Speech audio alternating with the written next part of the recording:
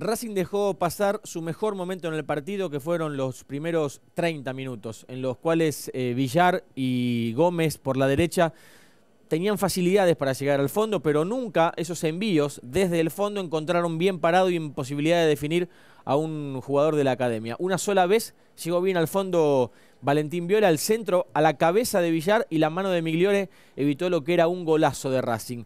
Después se fue desdibujando el equipo de Merlo, Argentinos empezó a sentirse más cómodo, le encontraba a la espalda a los mediocampistas cuando Racing se adelantaba masivamente y le dio algunos avisos.